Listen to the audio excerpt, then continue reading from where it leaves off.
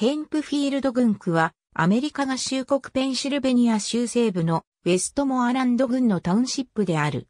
2010年の国勢調査での人口は43,241人だった。ピッツバーグ大都市圏の郊外では人口最大の自治体である。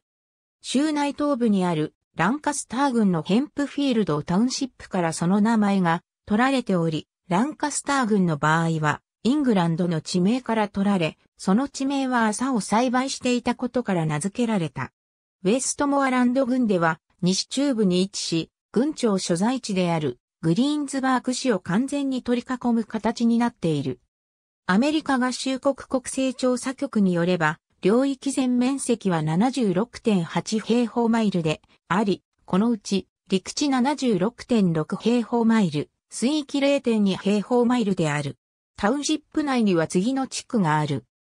アームブラスト、ボバード、カーボン、センタービル、ダーラー、イーストウッド、エモンストン、エバンストン、フォートアレン、フォックスタウン、グレープビル、ハンナズタウン、ヘイデンビル、ハイパーク、ハンカー、リンカーンハイツ、ラクサー、メープルウッドテラス、ミッドウェイ、ラドボー、セントクレア、ストーンビル、スイードヒル、ホワイトヒル、ウェストポイントシティである。以下は2000年の国勢調査による人口統計データである。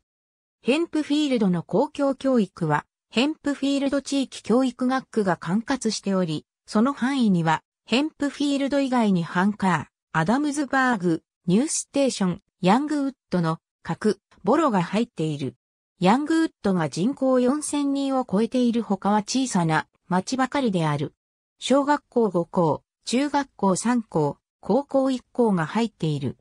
私立学校のグリーンズバーグ中央カトリック高校に進学することもできる。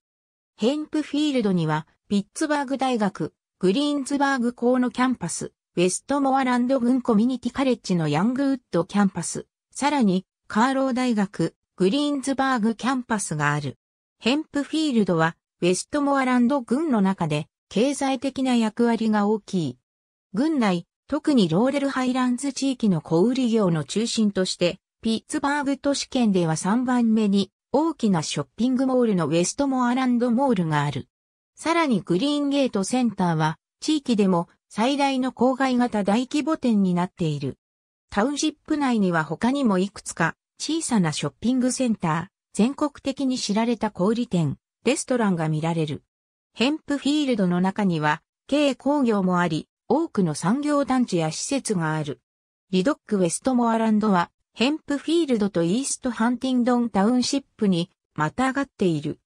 2011年3月午後23時4時45分頃、ヘンプフィールドタウンシップの中央、グリーンズバーグ市の南西にロート雲がにわかに現れ、改良フジタスケール EF2 の竜巻となり、フォートアレン地区の多くの家屋に損害を与え、さらに隣接するセウィックリータウンシップでも被害が出た。ヘンプフィールド地域高校が特に影響を受けて、行動の屋根が壊れ、近くのハロルド中学校のスタジアムも損傷を受けた。